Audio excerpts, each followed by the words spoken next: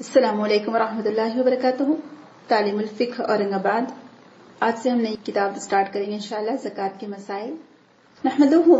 अला रसूलिहिल करीम अम्मा बाद। फ़अऊज़ु बिल्लाहि मिनश शैतानिर रजीम। बिस्मिल्लाहिर रहमानिर रहीम।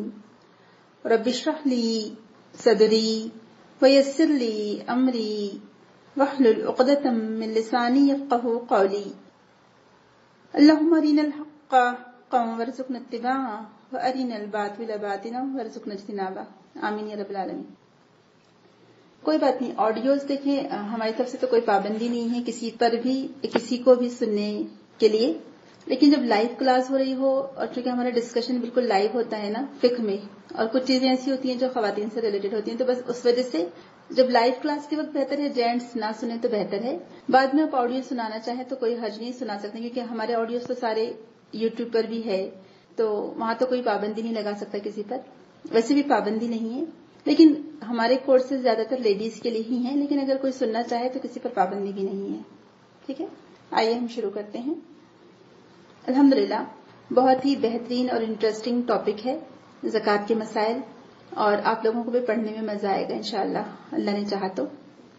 जक़ात, जैसे कि हम जानते हैं, जक़ात इस्लाम का एक रुकन है और जक़ात के इनकार करने वालों के खिलाफ अबू बकर सिद्दीक रदी अल्लाह ने जिहाद किया था कि उन्होंने कहा था कि जो रसूल अकरम की ज़िंदगी में एक रस्सी का टुकड़ा भी देते थे, और अगर अब वो आज देने से इनकार करते हैं तो मैं उनके खिलाफ ज़रूर जहाद करूँगा, क्योंकि वो मुसलमान नहीं है। क्योंकि आज अगर कोई जक़ात का इनकार करता था और उसके खिलाफ एक्शन न लिया जाता, यानी अबू बकर सिद्दीक के दौर में तो बाद में तो लोग एक एक करके सब चीज़ों का इनकार करते चले जाते जो अरकान है, कोई नमाज़ का इनकार कर देता, कोई रोज़े का इनकार कर देता, कोई हज का इनकार कर देता। तो अलहमदिल्ला तला ने उस वक्त अबू बकर सिद्दीक को एक फहम, एक फिरासत अता की, एक सही फैसला करने की कुत अता की। और वैसे भी फहम और फिरासत में अबू बकर सिद्दीक सबसे आगे थे, माशाल्लाह। अफजल बशर बादल अम्बिया तो बहरहाल, जक़ात एक ऐसा टॉपिक है जो हर दौर में, हर वक्त रिक्वायर्ड है, क्योंकि पैसा या पैसे की ज़रूरत, या दुनिया में गुर्बत। ये कभी, यानी एक तरह से साथ चलते चलते रहते हैं। कोई चीज़ का कभी खात्मा नहीं हो सकता। हाँ हदीस में वैसे ये खबर भी दी गई है कि एक वक्त ऐसा आएगा कि जक़ात देने वाले होंगे, लेकिन कोई जक़ात लेने वाला नहीं होगा इतनी खुशहाली आ जाएगी। और उमर बिन अब्दुल अज़ीज़ रहमल के जमाने में ये दौर मुसलमान देख भी चुके अलहमदिल्ला और हो सकता है आइंदा भी आए, अगर हम जक़ात के निज़ाम को नाफज करते हैं। जिस दौर से हम गुजर रहे हैं, वो फितने और फसाद का दौर है, देखा जाए तो। और इससे पहले भी ये ऐसे अदवार गुजर चुके हैं, जिसमें मुसलमानों को बहुत सारे फितनों का सामना करना पड़ा। लेकिन आज हम देखते हैं कि एक जो रेसिज्म जिसको हम कहेंगे मटेरियलिज्म रेसिज्म और भी जो भी आप समझ सकते हैं, जिसमें इंसान को सिर्फ़ एक नारा दिया गया है, उसको एक सोच दी गई, या उसको एक तस्वुर दिया जा रहा है कि रोटी, कपड़ा और मकान। और इंसान अल्लाह को मुतकासुर हत्ता जुरतुमुल मकाबिर कि इंसान बस एक दूसरे से ज़्यादा हासिल करने की धुन में दौड़ा जा रहा है, दौड़ा जा रहा है, दौड़ा जा रहा है। और हम देखते हैं कि दौलत की कसरत या दौलत की रेल पेल सिर्फ़ चंद लोगों के हाथों में गर्दिश कर रही है। यानी पूरी दुनिया में आज अगर आप ऑनलाइन सर्च करें तो आपको इंटरनेट पर पता चलेगा कि पूरी दुनिया की जो ज़्यादातर दौलत है, वो अगर आप हंड्रेड परसेंट लेते हैं तो उसमें से सिर्फ़ एक परसेंट लोगों के पास उस पूरी दौलत का तकरीबन नाइन्टी परसेंट हिस्सा मौजूद है, या एट्टी परसेंट हिस्सा मौजूद है। बाकी ट्वेंटी परसेंट में पूरे नाइन्टी एट या नाइन्टी नाइन परसेंट लोग मौजूद हैं। अब आप इससे अंदाज़ा लगा लीजिए कि कितनी अंधी तकसीम है ये दौलत की। क्यों? कहते हैं कि एक ही मुर्गे को खूब मोटा किया जा रहा है, उसको खिला पिलाकर। इंडिया का हालात देख रहे होंगे कि एक पर्सन को कहाँ से कहाँ पहुँचा दिया गया कि दुनिया के सेकंड नंबर पर ला दिया गया। हालाँकि उस पर कितने कर्जे हैं, पूरे बैंक उसके कर्जों से भरे पड़े हैं। और ऐसे आप देखेंगे जो टॉप टेन हम देखते हैं कि दौलतमंद लोग तो इन लोगों के पास इतनी ज़्यादा दौलत है कि इनके कुत्ते भी सोने की तश्तरियों में खा रहे हैं और चांदी के बिस्तरों पर बैठ रहे हैं। लाहौल बिल्ला अल्लाह तला ने दुनिया में जो दौलत दी है एक्चुअली वो इसलिए नहीं दी है कि इंसानों से शान शौकत दिखाए, फख्र और गुरूर का इजहार करे, या सिर्फ़ अपनी जात पर खर्च करे।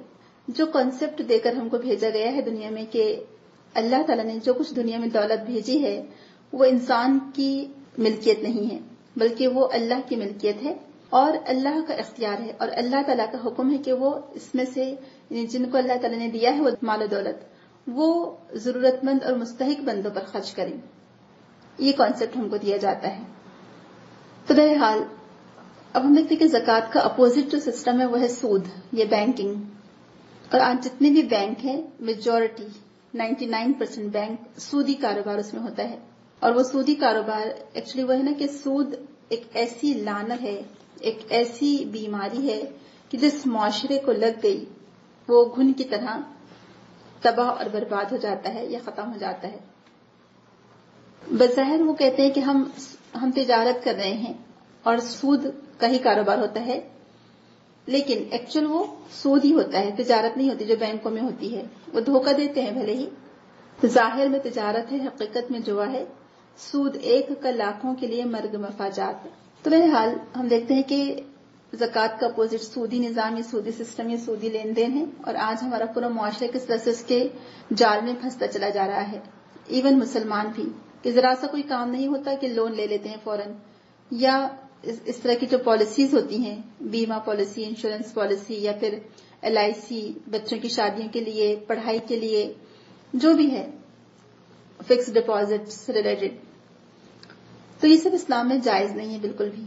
इसकी शुरुआत कहाँ से अगर हम देखें तो सूदी निज़ाम या बैंकिंग की कि जो यहूद थे उन्होंने इसकी शुरुआत की। फ़र्स्ट वर्ल्ड वॉर के बाद कुछ लोग ऐसे थे जिन्होंने देखा कुछ एक फैमिली थी कहा था कि बहुत ही ज़्यादा रिच लोग थे। उनकी पूरी फैमिली बहुत ही ज़्यादा मालदार थी। अब वर्ल्ड वॉर के बाद क्या हुआ कि लोगों को ज़रूरत पड़ी पैसों की। पैसा स्ट्रक हो गया था या यूरोप में तिजारत ही बंद हो गई थी, देखा जाए तो। तो उन लोगों ने क्या किया? हथियार एक तो वो सेल करते रहे और दूसरा लोगों को पैसे देते रहे सूद से। और फिर उन्होंने इसको एक बैंक की सूरत शुरुआत कर दी। पहले जमाने में ये भी कहा जाता है, इसकी शुरुआत वहाँ से भी हुई। कुछ लोग कहते हैं कि कुछ लोगों के पास एंटीक चीज़ें थी। यानी पुराने जमाने की बहुत ज़्यादा कदीम और कीमती चीज़ें थी। अब फ़र्स्ट वर्ल्ड वॉर के बाद ऐसा हुआ कि बहुत ज़्यादा चोरी, डकैती होने लगी या लोगों की चीज़ें महफूज नहीं रहने लगी। तो लोगों ने अपनी वो चीज़ों को, जो गरीब लोग थे या जो मिडिल क्लास लोग थे, उन्होंने अपनी कीमती चीज़ों को, जिन लोगों की बड़ी बड़ी बिल्डिंग्स थी या बड़े बड़े महल थे तो सिक्योरिटी की गर्ज से उन लोगों ने अपनी चीज़ें वहाँ ले जाकर रखी। तो जब भी अपनी वो कोई कीमती चीज़ वहाँ ले जाकर रखते उन लोगों के पास तो उनको एक स्लिप दे दी जाती थी। एक सिक्योरिटी के तौर पर कि अच्छा आपकी फिला चीज़ हमारे पास है। बाद में क्या हुआ कि वो कीमती चीज़ ही, के बदले जो स्लिप मिलती थी तो वही एक तरह से करेंसी कहलाई जाने लगी कि अच्छा ये कीमती चीज़ वहाँ रखी हुई है, इतनी कीमत की है वो। तो लिहाजा अगर वो स्लिप किसी को दे दी जाती तो समझो वो इतनी कीमत का मालिक हो जाता। और इस तरह से वहीं से बैंकिंग सिस्टम और ये सारी चीज़ें शुरुआत हुई। और नोट और करेंसी भी वहीं से निकली। बाद में उसी को नोट समझा जाने लगा और बाद में फिर नोटें छपने भी लगी। बहरहाल। तो अब देखिए कि सूद, अल्लाह तला ने कुरान में भी फरमाया कि यहूद का ये काम था कि यहूद हमेशा, यानी जब अवस और खजरज दो कबीले थे वहाँ मदीना में, इनको जंगों पर उभारते रहे, इन दोनों को आपस में एक दूसरे के खिलाफ लड़वाते रहे, क्योंकि इसमें फ़ायदा किसका होता था? वो दो लोग लड़ रहे थे तो पैसे भी उनका जाता था, जाने भी उनकी जाती थी। और फ़ायदा पूरा का पूरा यहूद का होता था, क्योंकि वो लोग कर्ज भी उनसे मांगते थे, जो वो सूद से देते, हथियार भी उन्हीं से खरीदते थे, जो उसको बहुत महँगे दामों में बेचते थे। और जाने जा रही थी अवसर खजरज की। और इसलिए हम देखते हैं कि चालीस साल से ऊपर उनके यहाँ कोई, यानी दो तीन लोगों के अलावा कोई ज़िंदा नहीं बचा था, सबकी सबकी डेथ हो गई थी। सिर्फ़ यंग लोग बाकी बचे थे अवसर खजरज में। इससे जो उनके सरदार थे, आप देखेंगे कि वो सिर्फ़ पच्चीस, सत्ताईस साल के लोग, इसी तरह के लोग थे ज़्यादातर, ज़्यादा एज नहीं थी उन लोगों की, क्योंकि मेजोरिटी की डेथ हो गई थी ये जंगों की वजह से। तो सूद में क्या हुआ कि उन लोगों पर कर्ज पर कर्ज बढ़ते गए और यहूद मालदार से मालदार होते गए। इसलिए अल्लाह ताला ने, आप देखें कि इतने सख्त अल्फाज इस्तेमाल किए हैं सूद के लिए कि अल्लाह उसके रसूल की तरफ़ से ऐलान जंग है उन लोगों के लिए जो सूद का कारोबार करते हैं। तो जब सूद मना है तो अब क्या किया जाए? तो एक चीज़ रह जाती है कर्ज और दूसरा रह जाता है रहन और तीसरा रह जाता है इन्फाक, जिसमें जक़ात, फ़र्ज़ और नफल सदाकत दोनों आते हैं। जब आप सूद से पैसा नहीं ले सकते, अब एक इंसान है, उसको ज़रूरत है किसी चीज़ की, या कुछ पैसों की, या उसकी जरूरियात है, और वो अपनी जरूरियात नहीं पूरी कर पा रहा है तो अब उसके लिए फिर ऑप्शन क्या रह जाता है बाकी? तो उसके लिए फिर ऑप्शन ये है कि वो किसी से कर्ज ले, या अपनी चीज़ रहन रखवा कर उससे पैसा ले, या फिर कोई लोग हों मुआशरे में ऐसे जो उसकी मदद करने वाले हों, नफिल सदाकत के ज़रिए से, या फिर फ़र्ज़ जक़ात के ज़रिए से, ठीक है? तो नमाज़ के बाद जक़ात दिन इस्लाम का इंतहाई एक अहम रुकन है। कुरान में तकरीबन 82 टाइम इसका लफ्ज ज़िक्र आया है। और जक़ात की अहमियत का अंदाज़ा आप इससे लगा सकते हैं कि पहले की तमाम उम्मतों पर भी फ़र्ज़ रही है।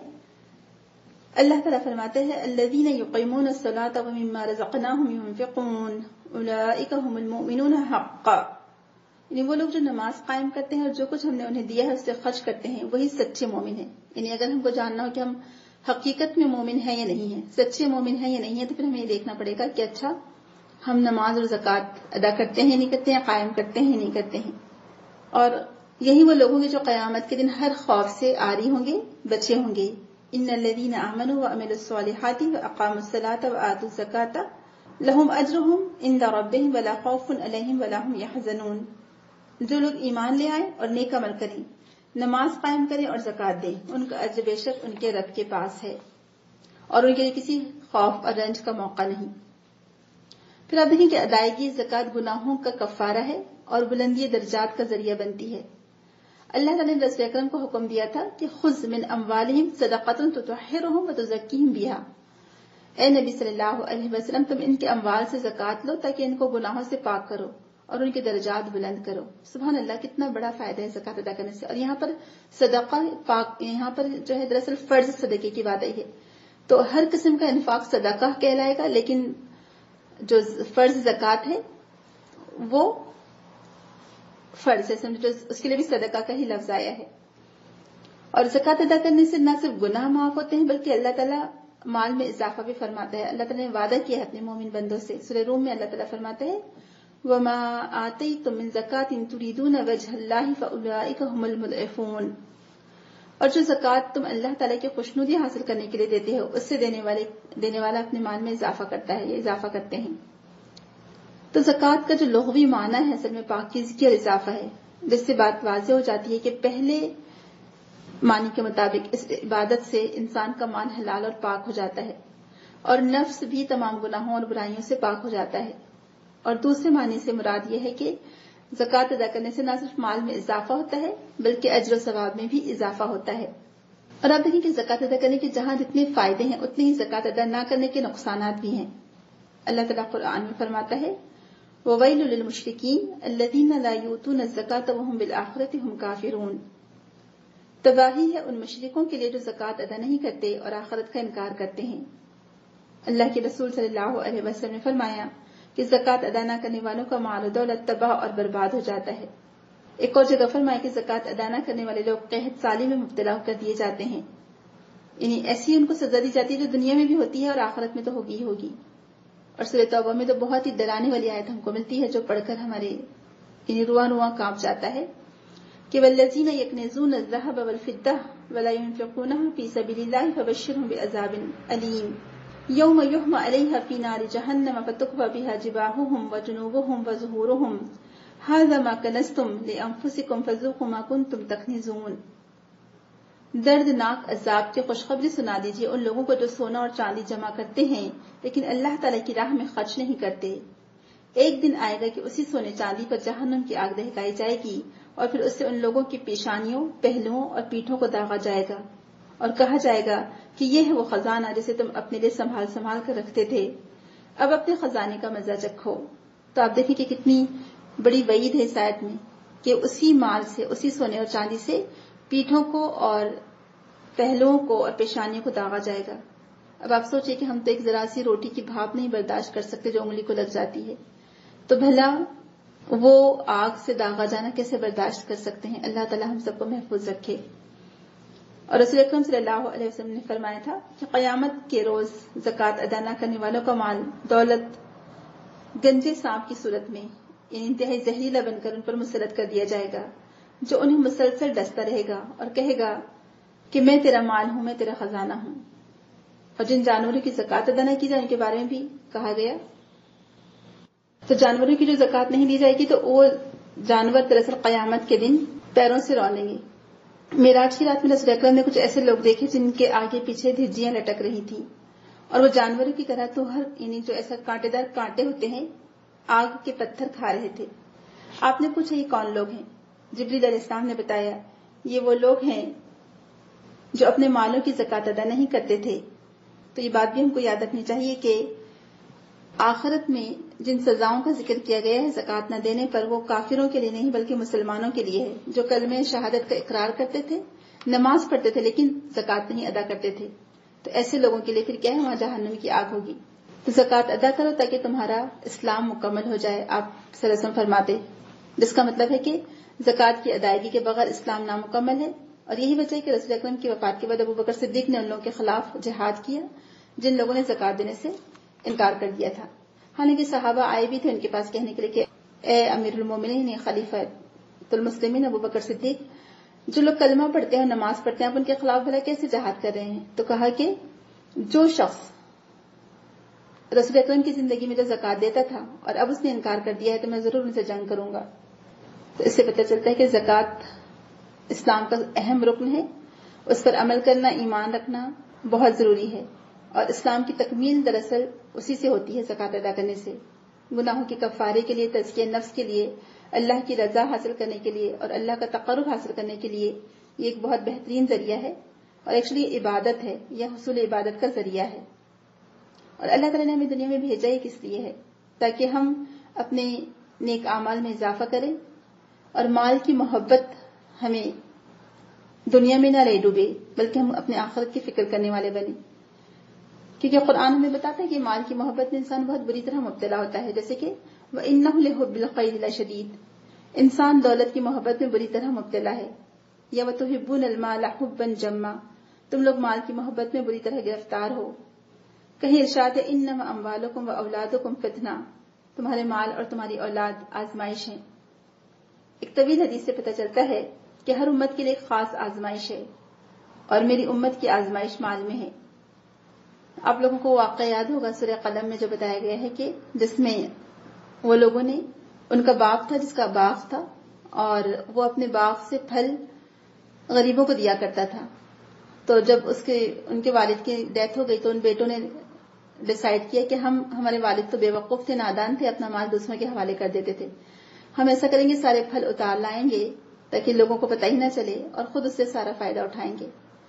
अब वो मुँह अंधेरी चल पड़े अपने बाग की तरफ़, और जब वहाँ पहुँचे तो देखा कि वहाँ तो पाला पड़ा हुआ है। यानी बाग, बिल्कुल तबाह और वीरान है। तो कहा कि हम रास्ता भटक गए हैं या क्या मामला है? तो कहा कि नहीं, हम असल में बहक गए थे। और तब उनको बात समझ में आई कि हमने जब गरीबों के हक पर डाका डाला तो हमारा बाग पूरा का पूरा वीरान हो गया, उस पर पाला पड़ गया। तब उन्होंने वहाँ अपने आप पर वो शर्मिंदा हुए, पछताए और अल्लाह से माफ़ी तलाफी की। तो आप देखें कि इससे क्या पता चलता है कि जब हम लोगों को देते हैं तो इससे हमारे माल में कमी नहीं होती है, बल्कि हमारे माल में इजाफा ही होता है। तो उन लोगों ने, जब वो, उन सारे भाइयों ने देखा कि हमारा बाग तो बिल्कुल तबाह हो गया है तो खुद ही अपने आप पर अफसोस करने लगे कि कालू या वैलना इन्ना कुन्ना तोगीन। कहने लगे, हाय, अफसोस, हम वाकई सरकश थे। तो अल्लाह तला ने ये वाक़ बताकर दरअसल हमारे लिए एक नसीहत इबरत का सामान पैदा किया है कुरान में कि हम भी होश हवास से काम ले और समझें कि जक़ात अदा करना या लोगों का, हमारे माल में भी लोगों का हक है, उसको अदा करना कितना ज़रूरी है। हम समझते हैं कि हमारा ही माल है, उस पर हमारा ही तसरुफ है और हम जहाँ चाहें खर्च करें। ऐसा नहीं है। हमारे माल में हकदारों का हक है, साहिल का हक है, महरूम का हक है, रिश्तेदारों का हक है, सबका हक है। तो बहरहाल उन्होंने खुद वो अजाब देख लिया था। बाग वालों ने अपने बाग पर। तो माल की यही मोहब्बत दरअसल इंसान के अंदर बुखल, हिर्स और लालच और खुदगर्जी और संगदिली पैदा करती है, जो कि एक अखलाकी रजीला है। या उसको झूठ और धोखाधही पर उभारती है, या जुल्म करना सिखाती है। ये लोगों का हक गसब करना सिखाती है, हक, तलफी लूट खसूट जैसे गुनाहों में मुबतला कर देती है। तो बहरहाल इस दुनिया में यही चीज़ें फितना और फसाद का बायस बनते हैं और इंसान की आखिरत को बर्बाद कर देते हैं। जक़ात हमारे दिल से ये हिर्स, बुखल और लालच निकालती है। जक़ात को इबादत का दर्जा दिया गया है ताकि उससे इंसान के अंदर माल की मोहब्बत कम हो। अपने भाई बहनों के लिए दीनी भाई बहनों के लिए, मुसलमान भाई बहनों के लिए मोहब्बत और हमदर्दी का जज्बा पैदा हो। और इसलिए आप देखिए कि जो हमारा मुआशरा था रसूल ने जो मुआशरा तरतीब दिया, जिसकी तरबियत की कैसे वो आपस में एक दूसरे के लिए रहीम और शफीक थे? कैसे एक दूसरे की मदद करने वाले? कितनी उन्होंने ईसार और कुर्बानी और मोहब्बत की एक आला मिसाल हमारे लिए पेश की। साहब कराम आपस में एक दूसरे के कितने ज़्यादा रफीक थे? कितना ज़्यादा एक दूसरे के काम आते थे? आपको वाक़ याद होगा कि जब जंग यरमुक में पानी की सदाई, जख्मी सिपाही से, जब उसको पानी पिलाने के लिए जाया गया तो बाजू से सदाई क्या, वो भी प्यासा है। अब देखिए कि वो पहले जख्मी ने कहा कि मेरे भाई को पहले पानी पिला दो। इस तरह से कह रहे थे कई लोगों से घूमकर, आखिरकार वो पानी वापस आ गया और कोई पी भी नहीं सका और वो लोग इन्हें शहादत का दर्जा पा चुके। सुबह अल्लाह तो कैसे ईसार और कुर्बानी वाले लोग थे वो लोग? कैसे एक दूसरे के लिए कुर्बानी देते थे? जब एक शख्स एक दफ़ा रसूल अक्रम की खदमत में हाजिर हुआ और कहने लगा कि या रसूल सख्त भूखा हूँ, खाना खिलाइए। रसूल अक्रम ने तमाम लोगों के घर में बारी बारी आदमी को भेजा। घर से यही जवाब मिला कि आज हमारे घर में खाने के लिए कुछ भी नहीं है। आपने पूछा कौन शख्स आज की रात इस आदमी को अपना मेहमान बनाता है? अबू तलहा, अंसारी उठे और अर्ज़ के या रसुल्ला मैं इन्हें अपना मेहमान बनाता हूँ। लिहाजा अपने घर ले गए, जाकर बीवी को बताया कि रसुल्ला के मेहमान है, लिहाजा हमें खुद खाने को मिले या न मिले, इन्हें ज़रूर देना है। बीवी ने कहा, घर में बच्चों के खाने के लिए कुछ टुकड़े रखे हैं और तो कुछ भी नहीं है। अबू तलहा ने कहा, बच्चों को किसी न किसी तरह बहलाकर सुला दो और हम दोनों जब खाना खाने बैठे थे तुम किसी बहाने चिराग बुझा देना। मैं वैसे ही पास बैठा रहूँगा और मेहमान सैर होकर खाना खा लेगा। दोनों ने ऐसे ही किया। सुबह जब रसूल अक्रम के सामने हाजिर हुए तो रसूल अक्रम ने फरमाया कि तुम दोनों मियाँ बीवी के अमल से अल्लाह तला खुश हुए और हंसे और यह आयत नाजिल फरमाई, वयूसिरून अला अंफुसिहिम वलौकान बिहिम खसासा। और खुद हाजतमंद होने के बावजूद दूसरों को अपनी जात पर तरजीह देते हैं। सुबहान अल्लाह कितनी बड़ी कुर्बानी है। आज आप देखें कि आज हमारा हाल के कि हम पहले खुद खा लें, बचा हुआ तो दूसरों को देंगे। खुद अच्छी चीज़ हासिल कर लें, दूसरों को दिया न दिया, उससे हमें कोई परवाह नहीं है उसकी हमें। यानी आज हमारी सेल्फिशनेस का खुद गर्जी का यह हाल है कि हम सिर्फ़ अपनी जात पर खर्च करना चाहते हैं, अपनी जात को सैराब करना चाहते हैं। और दूसरों की जरूरियात का हम ख्याल नहीं रखते, बल्कि जो लोगों के हकदारों के हक है, वो भी हम अदा नहीं कर पाते। हमारे माल में सब लोगों का हक है, हमारे रिश्तेदारों का, हमारे आसपास वालों का सबका हक है। हम वो अदा ही नहीं करना चाहते। हमको तो हमारी ख्वाहिशात ही पूरी नहीं होती तो हम दूसरों का कहाँ से अदा करेंगे? मुस्तक हाकिम में एक वाकया भी ज़िक्र किया गया है। एक सहाबी को किसी ने बकरी की सदी तोहफे में भिजवाई इन जो पाए होते हैं। उन्होंने ये सोच करके फ़िलहाल शख्स मुझसे ज़्यादा हाजतमंद है उसके यहाँ भेज दी। उसने यही सोचकर तीसरे आदमी के पास भेज दी। इस तरह सात घरों का चक्कर लगाने के बाद वो सिरी पहले साहबी के घर पहुँच गई। तो आप देखिए कि सुबह कैसा कैसा दर्ज, कैसा जज्बा था उन लोगों का ना कुर्बानी का। कैसे एक दूसरे का ख्याल रखते थे। कैसे एक दूसरे की जरूरियात को अपनी जात पर तरजीह देते थे। यही वजह थी कि कितनी जल्दी आप देखें इस्लाम ने तरक्की की और अलहमदुल्ला एक वक्त ऐसा है कि उमर बिन अब्दुल अज़ीज़ के दौर में लोग जक़ात देने चाहते थे, ये लेकर खड़े रहते थे, लेकिन कोई जक़ात लेने वाला नहीं होता था अलहमदिल्ला तो अगर आप जक़ात के निज़ाम को सही तरीके से फॉलो करेंगे तो यकीन जानिए कि उससे बहुत फ़ायदा होगा। तो अब देखिए कि जो साहिब निसाब मुसलमान है, उसके माल में जक़ात बहुत ही कम मकदार में है। जैसे कि हर साल अगर आपको जक़ात देना है तो आपके पास एक लाख रुपए तो आपको सिर्फ़ ढाई हज़ार रुपए देना है। ढाई परसेंट जक़ात है, ढाई फ़ीसद जक़ात है। लेकिन इन्फाक फ़ी सबरीला जो नफल सदाकत है, उसकी मकदार मुकर नहीं की गई है। जितना देना है, उतना दें। और उसके लिए खुशखबरी क्या सुनाई गई कि अमवालहुम फ़ी सबीलिल्लाह कमसल हब्बतिन अम्बतत सब सनाबिल। सब असनाबिल फ़ी कुल्ल सुंबुलति मियत हब्बा वल्लाहु युदाइफु लिमन यशाउ, वल्लाहु वासिउन अलीम। जो लोग अपने माल अल्लाह ताला में खर्च करते हैं, उनके खर्च की मिसाल ऐसी है जैसे एक दाना बोया जाए, उससे सात बालें निकले और हर बाली में सौ दाने हों। अल्लाह ताला जिसके अमल का अज्र चाहता है, उसकी नीयत के मुताबिक जितना चाहता है बढ़ा देता है। अल्लाह बड़ी वसत वाला और इल्म वाला है। सुबह अल्लाह कितनी खूबसूरत आयत है ना ये। तो जब ऐसी आयत हम पढ़ते हैं तो फिर हमारा दिल क्या करता है कि हम और मस्जिद अल्लाह के रास्ते में दें। और अल्लाह तला ने इसको कर्ज हसना का नाम दिया कि इन तकरद, इन इन तुकरदुल्लाह कर्दन हसना, युदाइफ लकुम व यगफिर लकुम वल्लाहु शकूरुन हलीम। अगर तुम तुम लोग अल्लाह तला को कर्ज हंसना दो तो वो तुम्हें कई गुना बढ़ाकर देगा और तुम्हारे गुनाहों से दरगुजर फरमाएगा। अल्लाह तला बड़ा कदरदान और हौसले वाला है। एक और जगह अल्लाह तला फरमाते कि लन हत्ता तुनफिकु मिम्मा तुनफिकु मिन बिही अलीम। तुम लोग नेकी के मुकाम को पहुँच ही नहीं सकते जब तक कि अपनी पसंदीदा चीज़ें अल्लाह की राह में खर्च न करो, जिन्हें तुम महबूब रखते हो। तो अल्लाह तला पूछता है हमसे कि कौन है जो अल्लाह को कर्ज हंसना दे? बेहतरीन कर्ज था कि अल्लाह उसे कई गुना बढ़ाकर वापस करे। अगर आपसे सवाल पूछा जा रहा तो आपका जवाब क्या होगा? किसको कर्ज देना है आपको? क्या अल्लाह ताला बजाते खुद कर्ज मांग रहे हैं आपसे? क्या अल्लाह को ज़रूरत है कर्ज की किसी के? आपसे पूछ रही हूँ मैं। अल्लाह को ज़रूरत नहीं है, लेकिन किसके लिए मांग रहे हैं अल्लाह ताला? किसको देना है हमें कर्ज ये? अल्लाह के जरूरतमंद बंदों को जो मोहताज हैं तो सदका अल्लाह ताला के गुस्से को बुझाता है, बुरी मौत से बचाता है। कयामत के दिन सदका मोमिन पर साया बनेगा। सदका करने में जल्दी करो, क्योंकि मुसीबतें सदके से आगे नहीं बढ़ सकती। सदका कयामत के दिन से ढाल होगा। सदका करने से माल में कमी नहीं होती। और अल्लाह ताला फरमाते कि जो शख्स किसी बरहेना मुसलमान को कपड़ा पहनाएगा, अल्लाह उसे जन्नत का सब्ज रेशम पहनाएगा। जो शख्स किसी मुसलमान भूखे को खाना खिलाएगा, अल्लाह ताला से जन्नत के मेवे खिलाएगा। और जो शख्स किसी प्यासे मुसलमान को पानी पिलाएगा, अल्लाह ताला उसे जन्नत में उम्दा शराब पिलाएगा। सुबह अल्लाह। हम में से कौन है जो नहीं चाहता जन्नत का लिबास पहनना? हम में से कौन है जो जन्नत के मेवे नहीं खाना चाहता? हम में से कौन है जन्नत जन्नत की सरबन शराब नहीं पीना चाहता? अच्छा मशरूब। फिर वो शख्स मुझ पर ईमान नहीं लाया जो रात पेट भर कर सोया और उसका पड़ोसी भूखा रहा। हालाँकि उसे इस बात की भी खबर थी। लाहौल आप देखें कि यानी पड़ोसियों से भी हमको बाखबर रहना कि, कोई हमारा पड़ोसी भूखा न रहे। यानी आसपास के लोगों की ज़रूरत का हमको ख्याल रखना है। एक बात यह भी आपने फरमाई कि मैं और यतीम, यानी रिश्तेदार या गैर रिश्तेदार का सरप्रस्त जन्नत में इस तरह एक साथ होंगे और आपने अपनी दो उंगलियाँ खड़ी करके ये बात इर्शाद फरमाई। तो इसीलिए रसूल अक्रम अपनी उम्मत को, अपने लोगों को, साहबा को इन्फाक की तरगीब दिया करते थे। और आपने खुद ऐसी अमली मिसालें पेश की जो साहबा के लिए एक तरह से काबिल अमल थी और बेहतरीन तर्जुमान थी कुरान और हदीस की रोशनी में। एक शख्स ने रसूल अकरम की खदमत में हाजिर होकर सवाल किया आपने फिर मैं बैठ जाओ, अल्लाह तला देगा। फिर दूसरा आया, तीसरा आया, रसूल अकरम ने सबको बिठा लिया, क्योंकि उस वक्त आपके पास देने के लिए कुछ नहीं था। इतने में एक शख्स आया, उसने चार ओकिया चांदी रसूल अकरम की खदमत में पेश की। आपने एक एक ओकिया तीन सवालियों में तकसीम फरमा दी, और फिर पूछा, कोई और है लेने वाला? कोई और लेने वाला नहीं था। रात ही तो रसूल अकरम को नींद नहीं आ रही थी बार बार पहलू बदलते उठकर नमाज़ पढ़ने लगते। आयशा नदी ने पूछा, क्या कोई तकलीफ़ है? फरमाया, नहीं।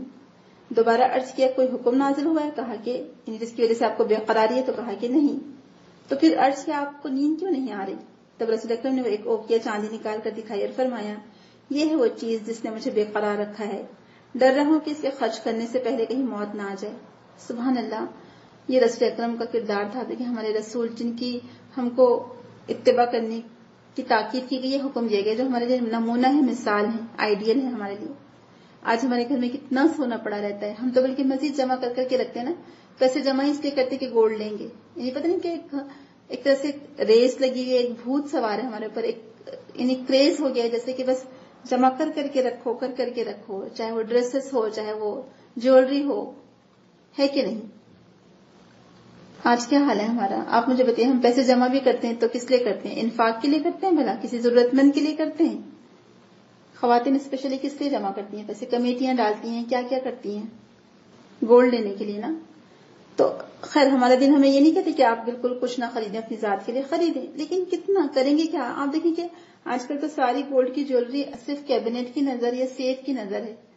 पहनने में भी नहीं आती। आर्टिफिशियल ज्वेलरी का इतना रिवाज हो गया है तो जब आर्टिफिशियल ज्वेलरी का इतना चलन आम है तो गोल्ड रख रख के क्या करेंगे?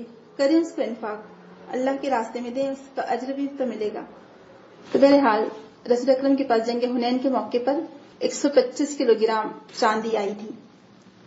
6000 कैदी थे 24000 ऊँट 1000 बकरियाँ और 4000 ओकिया चांदी। माल गनीमत आया था, लेकिन आपने सारा का सारा माल उसी वक्त तकसीम कर दिया। कुछ भी घर वापस नहीं लाए थे। सुबह अल्लाह आप इतना लोगों की मदद करने वाले, इतना लोगों की तकलीफ़ को दूर करने के लिए बेचैन रहते थे। तो आपकी इतवा में हमारे लिए असल में भलाई है। तो इनफाक फ़ी सबीला की ऐसी मिसालें हमारे सामने मौजूद हैं कि पूरा जमाना, यानी तारीख इस ऐसी मिसालें पेश करने से खासर है। एक दफ़ा अब्दुल्ला बिन जुबैर ने आशिर अली को एक लाख दरहम भेजे, जो उन्होंने उसी वक्त गरीबों में तकसीम कर दिए, और उस दिन आप रोज़े से थी। खादिमा ने अर्ज़ की कि अगर अफ्तार के लिए कुछ लेती तो अच्छा था, उस तो कहा कि उस वक्त याद दिला देती तो कुछ रख लेती। सुबह अल्लाह जब आयत नाजर कि यकलदुल्लाह कलदन हसना तो एक सहाबी अबू दहादा ने अर्ज़ किया, या रसुल्ला कि अल्लाह ताला हमसे कर्ज तलब फरमाता है? आपने कहा कि हाँ। कहा कि, अपना हाथ दीजिए। फिर हाथ में हाथ लेकर कहा कि, या रसुल्ला मैंने अपना बाग, जिसमें 600 खजूर के दरख्त हैं, अल्लाह तला को कर्ज दे दिया। सीधे बाग में आए और बीवी को बाग से बाहर ही खड़े होकर आवाज़ दी कि, बच्चों को बाहर लेकर आ जाओ, मैंने ये बाग अल्लाह की राह में दे दिया है। सुबह अल्लाह अबू बकर सिद्दीक के अहद में एक मरतबा कहत पड़ा। लोग अबू बकर सिद्दीक की खदमत में हाजिर हुए। आपने फरमाया, कल तुम्हारी मुश्किल दूर हो जाएगी। सुबह अल्लाह देखिए इतना यकीन और तवक्ल अल्लाह की जात पर। दूसरे रोज अल्लाह सुबह उस्मान के एक हज़ार ऊँट गले से लदे हुए मदीना पहुँचे।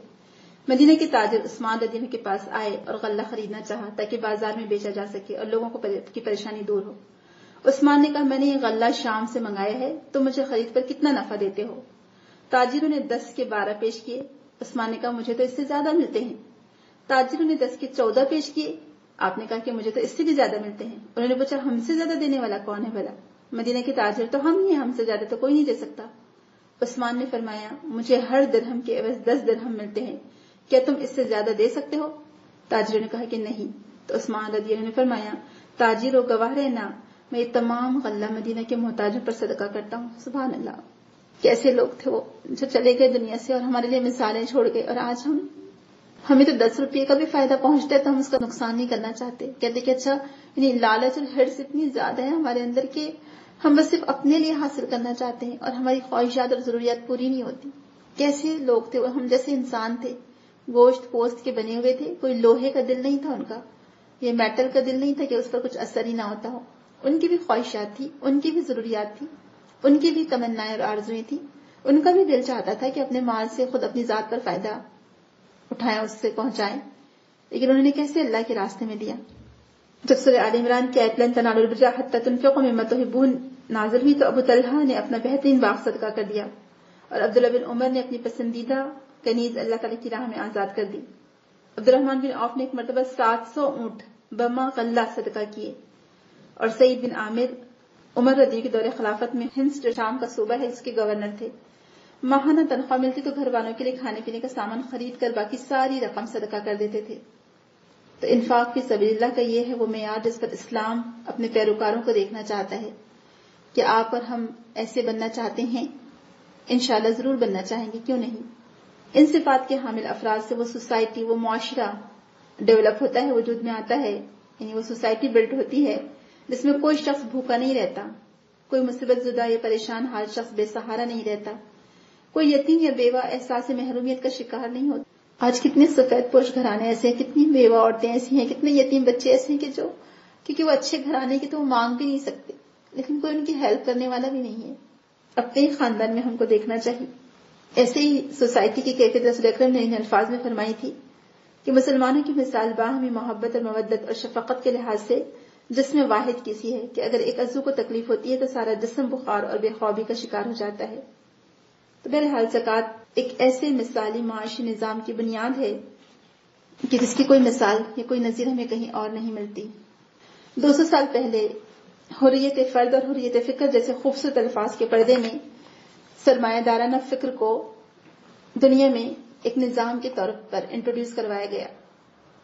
जिसकी बुनियाद इस फलसफे पर थी कि हर आदमी अपनी दौलत का मुकम्मल मालिक और मुख्तार है। उसे जहाँ चाहे, जैसे चाहे खर्च कर सकता है। सोसाइटी और मुआशरा के उसके असरा कैसे ही क्यों ना हो? खा, उसका अपना अखलाक और किरदार तबाह हो रहा हो या पूरा मुआशरा फहाशिर बेहयाई में मुबतला हो? तो जो सरमायादारा ने निज़ाम उससे कोई तारुज नहीं करता। इस तरह ज़्यादा से ज़्यादा दौलत कमाने की हवस में चंद घरों का सुकून और चैन बर्बाद हो या पूरी की पूरी कौम उसकी हौस, जर की भैंस, भेंट चढ़ जाए। उनको कोई उससे फ़िक्र नहीं थी या कोई सरोकार नहीं था। यानी बस एक सोच दी गई कि खूब दौड़ो खूब दौड़ो दौलत कमाने के चक्कर में। एक दूसरे से आगे बढ़ने की कोशिश करो। तो जो सरमायादारा निज़ाम था, इस पर कोई कानूनी अखलाकी पाबंदी नहीं आयद करता। इस बेरहम और संग दिलाना शैतानी निज़ाम में जहाँ अखलाकी लिहाज से इंसानी अकदार की कोई कदर कीमत नहीं है, वहाँ पर माशी लिहाज से सरमाया सिर्फ़ सरमायादारों के हाथों में ही गर्दिश करता रहता है। इन चंद जो मटेरियलिस्टिक लोग हैं, उनके हाथों में। और जिनके पास कुछ नहीं है, बेचारे वो कर्ज पर कर्ज में डूबते चले जाते हैं, या सूद दर सूद के बोझ तले दबे चले जाते हैं। जब दुनिया को इस निज़ाम की फरेबकारियों का पता चला तो मसावत और अदल जैसे दिलकश अल्फाज के हवाले से दुनिया को एक दूसरा शैतानी निज़ाम दिया गया, इश्तराकियत जिसको कहते हैं। जिसका बुनियादी फलसफा यह था कि हुर्रियत फर्द और हुर्रियत फ़िक्र की मुकम्मल नफी थी डिनाई किया गया उसको हुकूमत को तमाम वसाइल, दौलत जमीनों, कारखानों, फैक्ट्रियों और दीगर अम्बाल का मालिक करार दिया गया। फर्द को मुकम्मल तौर पर महरूम किया गया। फर्द एक लगी बंदी गुलामाना ज़िंदगी की जंजीरों में जकड़ा हुआ था और हुकूमत के चंद अफराद पूरी कौम की तकदीर के मालिक और मुख्तार बन गए। जैसे कि रशिया में हुआ था, आपको मालूम होगा, कम्युनिज्म में कि आप खुद भी अपनी दौलत कमा रहे हैं तो एक पर्टिकुलर मकदार के बाद आप वो दौलत अपने पास नहीं रख सकते, चाहे वो आप खुद कमा रहे हो। आपको उसको हुकूमत के हवाले कर देना होगा। और इसीलिए कहा था, इलामा इकबाल ने इश्तराकी निज़ाम पर, ये इल्म, ये हिकमत, ये तदबीर, ये हुकूमत, पीते हैं लहू, देते हैं तालीम मसावत। तो पहला निज़ाम क्या था? जुल्म और जबर की एक इंतहा था और दूसरा निज़ाम उसी जुल्म और जबर की दूसरी इंतहा साबित हुआ। जिस तरह दुनिया एक सदी के अंदर अंदर सरमादाराना निज़ाम से मायूस हो गई, उसी तरह दुनिया दूसरी सदी के अख्ताम से पहले ही इश्तराकी निज़ाम पर लानत भेजने लगी। आपको मालूम है कि रशिया कितनी बुरी तरह टुकड़े टुकड़े हुआ था। 1981 को अगर इश्तराकियत की मौत का अशरा करार दिया जाए तो शायद बेजाना होगा। जिसमें न सिर्फ़ ये कि इश्तराकी ममालिक ने इश्तराकियत का तोक गले से उतार फेंका, बल्कि खुद इश्तराकियत के अलम्बरदारों के अपने देश रूस में भी उस जालिमाना निज़ाम के खिलाफ अलम बगावत बुलंद होने लगा। तजुर्बे ने यह बात साबित कर दी कि इंसानों के बनाए गए कानून कभी राह निजात नहीं बन सकते। सरमायादारी और इश्तराकियत के मुकाबले में इस्लामी निज़ामी मीशत की बुनियाद उस तालीम पर है कि उस कायनात और इस कायनात की हर चीज़ का मालिक सिर्फ़ अल्लाह ताला है। दौलत और वसायल दौलत का हकीकी मालिक भी वही है। कुरान ने मुख्तलिफ़ जगह पर मुख्तलिफ़ अंदाज में इसकी निशानदेही की है कि वह आतु माली आता कुम कि आज़ादी के ख्वाहिशमंद गुलामों को इस माल से दो जो अल्लाह ने तुम्हें दिया है। सुरहदीद में अल्लाह तला फरमाता है, वह अनफिक मिम्मा जअलकुम मुस्तखलफीन फ़ी जिस माल पर अल्लाह तला ने तुम्हें खलीफा बनाया है, उसमें से खर्च करो। तो कुरान में पचास से ज़्यादा आयत ऐसी हैं जिनमें अल्लाह ताला ने कहीं रजकना हूँ और कहीं रजका हूँ और कहीं रजकना कुम और कहीं रजका कुम कहकर लोगों को रिस्क देने की नस्बत अपनी तरफ़ की है, जिससे इंसान को ये बात मालूम हो जाती है हकीकत जहन नशीन हो जाती है कि मालो दौलत जिसे तुम अपनी कम इलमी और जहालत की बुनियाद पर अपनी मिल्कियत समझने लगे हो, दरअसल ये अल्लाह की मिल्कियत है, जो उसने अपने बंदों को अमानत के तौर पर दी है। लिहाजा इंसान इस बात का पाबंद है कि जो दौलत अल्लाह तला ने उसे दी है, उसे अल्लाह तला ही के हुक्म के मुताबिक इस्तेमाल करे। और जायज़ तरीके से उसको इस्तेमाल करे और जायज़ तरीके से आमदनी को हासिल करे। कोई नाजायज तरीका उसमें ना हो। इसलिए देखिए रिश्वत और गसब खयानत, बुदगिरी और बुदफरोशी चोरी, नापतोल में कमी मालियती में हक तलफी इतफाकी आमदनी वाले तमाम जराए, मसलन जुआ वगैरह, शराब की तैयारी, खरीदो फरोख्त और नकलो हमल की आमदनी फहाशी बेहयाई फैलाने वाले कारोबार, सूदी कारोबार, कहबागिरी और जिना की आमदनी, किस्मतें बताने का कारोबार। इसके अलावा ऐसे तमाम जराए जो झूठ धोखे और फरेब पर मबनी हो, इस्लाम के नज़दीक नाजायज और हराम है।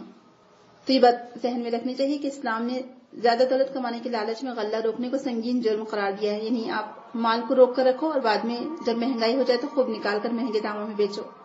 बल्कि इस्लाम ने खर्च करने की तरकीब दिलाई है। कि वालदेन अज़ीज़ वकारिब यतीमों मिस्किनों और हमसायों पर खर्च करो, सवाली और माजूर लोगों पर खर्च करो, कर्ज दो, जक़ात अदा करो, सदकात अदा करो। तो माल को अपने पास रोकने और जमा करने की इस्लाम हमें तरकीब नहीं देता। साथ ही साथ हमें फजूल, खर्ची और इसराफ और बखीली से भी मना करता है इस्लाम। फिर इसके साथ शरीयत ने ऐसे तमाम रास्तों पर दौलत खर्च करने से सख्ती से मना फरमा दिया, जिससे आदमी का अपना अखलाक तबाह होता हो, या मुआरे में बिगाड़ पैदा होता हो, जैसे कि शराब है, जुआ है, जना है। और इसी के लिए हदूद मुकर किए गए हैं। कि जायज़ और हलाल तरीके से कोई शख्स करोड़ों का मालिक बन जाए तो उस पर कोई एतराज़ नहीं होगा। लेकिन गलत तरीके से कोई आमदनी हासिल नहीं कर सकता। तो अगर दौलत कमाने और खर्च करने के अहकाम का सरसरी जायजा लें तो उसके बाद ये बात कही जा सकती है कि इस्लाम ने माशरे में हर तबके हर फर्द को पूरा पूरा मुआशी तहफ़ अदा किया और हक तलफी और लूट खसूट के तमाम रास्ते बंद कर दिए हैं। और दौलत कमाने और खर्च करने के तमाम अहकाम का अलग अलग जायजा लेना यहाँ मुमकिन है, लेकिन आप देखिए कि अगर हम जो मुस्लिम कंट्रीज़ अगर वहाँ के सारे लोग सही तरीके से जक़ात अदा करें तो चंद ही सालों में वहाँ पर खूब बरकत आ सकती है। अगर हर कोई अपनी अपनी जक़ात सही तरीके से निकाले तो गरीबों और मिस्किनों को फ़ायदा हो सकता है, लेकिन ये इज्तमाही तरीके से होना चाहिए। यानी जक़ात का जो लेन देन है, वो इज्तमाही तरीके से हो। जी। तो अब यहाँ पर यहाँ किसी एक कंट्री की मिसाल दी गई है कि अगर इतनी ज़मीन है किसी कंट्री के पास, अगर वहाँ के लोग प्रॉपर जक़ात अदा करें तो वो जक़ात, जो लोग बेघर है वहाँ पर उस कंट्री में, या जो, जिनको शेल्टर नहीं है, जो महरूम है, या जो भी हो बहरहाल तो अगर सब लोग बराबर प्रॉपर जक़ात अदा करें, और गवर्नमेंट अपने लेवल पर, अपनी निगरानी में, अगर घर तामीर करवाती है समझे मजदूरों से, और मजदूरों को मजदूरी देती है तो आप देखिए कि उसे कितना पैसा सर्कुलेट होगा। यानी मजदूरों को जॉब मिलेगी, काम मिलेगा, इतनी चीज़ें सेल होंगी, उससे और मजीद पैसा आएगा, आमदनी बढ़ेगी। तो अगर सही तरीके से यानी हम जक़ात के निज़ाम को सही तरीके से अप्लाई करें तो खूब माशी तरक्की हो सकती है, मोहताज, मिस्किन और गरीब लोगों की माली हालत बेहतर हो सकती है, मुल्क की मीशत सही हो सकती है, और एक अजीम इनकलाब, माशी इनकलाब हो सकता है, क्योंकि जक़ात के जो बरकत हैं, अगर हम उस पर रोशनी डालें तो हमें पता चलता है कि जक़ात की वजह से, जक़ात के सही लेन देन की वजह से, यानी इज्तमाही तौर पर जक़ात के लेन देन की वजह से बहुत सारे फ़ायदे हो सकते हैं। तो इसीलिए हमको जक़ात के निज़ाम को कोशिश करना चाहिए कि हम इज्तमाही तौर पर जक़ात को दें। इंडिविजुअली देने से कोई फ़ायदा नहीं हमें क्या करते हैं लोग? एक अपनी नौकरानी को दे दिए, काम वाली को दे दिए, पड़ोसी को दे दिए, फुला जानने वाले को दे दिए, हो गया खत्म। या सौ रुपए की ड्रेस उसको बना दिए, पाँच सौ का उसको बना दिए हज़ार रुपए का गेहूँ उनको दिला दिए और खत्म। ऐसा नहीं होता। आप देखिए, इससे फिर क्या होता है? चीज़ें छोटी छोटी चीज़ों में जब जक़ात के पैसे डिस्ट्रीब्यूट हो जाएँगे तो कोई इज्तमाही फ़ायदा नहीं होगा उससे। पहली बात तो शादियों में जक़ात दी ही नहीं जा सकती। हमारे यहाँ पर ज़्यादातर क्या कहते हैं कि घर की नौकरानी की बेटी की शादी है तो बस उसमें जक़ात दे दो। तो शादियों में जक़ात दी ही नहीं जा सकती। कंस्ट्रक्शन के लिए जक़ात नहीं दी जा सकती। स्कूल की फ़ीस के लिए जक़ात नहीं दी जा सकती। बेसिक नीड्स बेसिक जरूरियात के लिए खाने पीने के अखराज के लिए जक़ात दी जा सकती है। तो बहरहाल सूद और जक़ात दो अपोजिट चीज़ें हैं। तो हमारे यहाँ देखें कि बैंकिंग सिस्टम या सूद का सिस्टम कितना तरक्की कर रहा है और जक़ात पीछे डालते चले जा रहे हैं जक़ात के निज़ाम को। बाज स्कीमें ऐसी हैं जिसमें चार पाँच साल बाद रकम दुगनी हो जाती है सूद से लेने की वजह से। या फिर जो फिक्स डिपॉजिट लोग करते हैं, उसमें आप देखिए दूसरों का पैसा लेकर इधर दिया जाता है। वो भी गुनाह है। अगर आपने सौ रुपये जमा कर और आपको एक सौ एक रुपये मिल रहे तो आपने सूद से पैसा लिया समझे तो वो भी गुनाह में आएगा। तो जितनी भी ऐसी स्कीम्स है चाहे वो घर बनाने की स्कीम्स हो, बच्चों की पढ़ाई की स्कीम्स हो, या पॉलिसीज़ हो, या फिर शादियों की वजह से हो, सब सूद में आएगा। तो सूदी निज़ाम के ज़रिए फर्द वाहद पर जो जुल्म हो रहा है, वो तो है ही। लेकिन थोड़ी देर के लिए गौर करें कि पूरी मुल्क की मीशत पर भी इसका बहुत बुरा असर पड़ रहा है। एक लानत बनकर मुसलत है। आप खुद मुझे बताइए कि जो सरमाएदार अपना सरमाया बैंकों या मुख्तलिफ़ स्कूमों में रखकर सूद खाता रहता है और सरमाए रखने की वजह से मुल्क की पैदावार, कारोबार तजारत में शदीद कमी वाक़ होती है, क्योंकि पैसा क्या होता है? एक जगह बंद हो जाता है, यानी सर्कुलेट नहीं होता। वही पैसा बैंक में रखने की वजह कारोबार में लगाएँगे तो कई लोगों को फ़ायदा हो सकता है उससे। आप मुझे बताइए कि जितनी भी कंट्रीज़ ने किसी जो इंटरनेशनल मॉनेटरी फंड यूनिसेफ है, या क्या है? मैं अगर भूल रही हूँ तो जहाँ से सारे मुल्क कर्जा लेते हैं और कर्जों में डूबे हुए हैं। मुझे बताइए, इन पचास सालों में कभी ऐसा हुआ कि जिन ममालिक ने पचास साल पहले जो कर्जा लिया था क्या कोई एक भी कंट्री है जिसने अभी तक पूरा कर्ज अदा कर दिया, बल्कि क्या हो रहा है? इंटरनेशनल मॉनिटरी फंड ठीक है, सही खैरन तो अभी तक कोई एक भी कंट्री जिसने वो कर्ज अदा कर दिया वो नहीं, बल्कि हर मुल्क का कर्जा कितना बढ़ गया आप खुद मुझे बताइए, अगर आप थोड़ा सा भी इसके बारे में पढ़ेंगे ऑनलाइन तो आपको पता चलेगा कि जिन मुल्कों ने कर्जे लिए थे, वो उससे ज़्यादा डबल कर्जों में घिरे हुए हैं। यानी उसका सूद इतना बढ़ गया है, हद से ज़्यादा। तो यानी पूरे सूदी शिकंजे में तमाम दुनिया को जकड़ दिया गया है। और उससे वो बाहर नहीं निकल सकते। मेराज की रात तस्वीर अक्रम में बाज लोगों को देखा जिनके पेट मकानों की तरह बड़े बड़े थे, पेटों में सांप भरे थे, इमेजिन करिए। जब आपने पूछा तो जबरील अमीन ने बताया कि सूद खाने वाले लोग हैं। लाहौल अल्लाह तला ने कुरान मजीद में सूद लेने और देने वालों के खिलाफ ऐलान जंग करार दिया है। इतनी वईद आई है सूद लेने और देने वालों पर। तो अल्लाह तला के बनाए हुए कानून में देखा जाए तो जक़ात है और हुरमत, यानी हराम किया गया है सूद। तो ये दोनों ही इंसानी खैर ख्वाही के लिए है असल में। अगर हम अपने खुद के इस्लामी तरीके पर अमल करें तो यकीन जाने के बहुत सारे मसाले हमारे खुद ब खुद हल हो सकते हैं। आज हम लोगों से पूछते हैं कि तरक्की का राज क्या है? एक्चुअली तरक्की का राज तो इस्लामी में है, कि मांगते फिरते हैं अखियार से मिट्टी के चिराग। अपने खुर्शीद पे फैला दिए खुद साए हमने। यानी सूरज, हमारे लिए सूरज ही सूरज इसकी रोशनी है। लेकिन आज हम खुद वो रोशनी से फ़ायदा नहीं उठाना चाह रहे। तो बहरहाल, अगर कभी कहीं सूदी निज़ाम को खत्म करवा दिया गया और जक़ात के निज़ाम को इंट्रोड्यूस करवाया गया। तो इस बात का यकीन है कि जुल्म, सितम, झूठ और फरेब खुद गर्जी सब कुछ खत्म हो जाएँगे और अदल और इंसाफ, अमन और सुकून, अखुवत हर तरफ़ फैल जाएगी। तो बहरहाल अल्लाह ताला हमें तौफीक दे कि हम जक़ात के नाम को सही तरीके से नाफिज करने वाले बने और इसकी इफादियत, इसकी अहमियत, इसके फायदों को लोगों से मुतारिफ करवाएँ। जैसे कि हम हर देखते हैं कि हर चैप्टर का आगाज़, हर किताब का आगाज़ नीयत के मसायल से होता है। तो बस ये एक चैप्टर देख लेते हैं। अमाल के अजर सवाब का दारोमदार नीयत पर है। और जक़ात अदा करते वक्त नीयत करना ज़रूरी है। Page number twenty eight. Umar bin Khattab रदी कहते कि मैंने रसू अक्रम को फरमाते हुए सुना है कि अमाल के दारोमदार नीयतों पर है। हर शख्स को वही मिलेगा जिसकी उसने नीयत की। लिहाजा जिसने दुनिया हासिल करने की नीयत से हिजरत की, उसे दुनिया मिलेगी। जिसने औरत हासिल करने की नीयत से हिजरत की, उसे औरत मिलेगी। बस महाजिर की हिजरत उसी चीज़ के लिए समझी जाएगी, जिस गर्ज के लिए उसने हिजरत की है। तो जक़ात अदा करने के लिए नीयत ज़रूरी है। आपको प्रॉपर दिल में नीयत करनी होगी कि आप इस जक़ात यानी फ़र्ज़ जक़ात अदा कर रहे हैं। और दिखावे की जक़ात, नमाज़, रोजा सब शिरक में आता है। जैसे कि वसल्लम यक़ुल, मन सल्ला अशरका। कि जिसने दिखावे की नमाज़ पढ़ी, उसने शिरक किया। जिसने दिखावे का रोजा रखा, उसने शिरक किया। और जिसने दिखावे का सदका किया, उसने शिरक किया। तो इसलिए हमको जो भी काम करना है, खालिस अल्लाह सुबहान तला की रजा के लिए करना है, ना कि लोगों को दिखाने के लिए। वैसे भी देखिए, कार उसी वक्त चलेगी जब उसमें पेट्रोल होगा। अगर आप पानी डालेंगे तो कार नहीं चलेगी। गैस का बटन आप ऑन करते हैं। अगर आपने सिलेंडर से वहाँ का कॉक ऑन नहीं किया तो गैस पास नहीं होगी और चूल्हा जलेगा नहीं, जब तक कि आप वो कॉक ऑन नहीं करेंगे। तो हर चीज़ के लिए मोटिवेट के लिए, आगे बढ़ने के लिए उसको कबूलियत के लिए कुछ रिक्वायरमेंट्स होती हैं।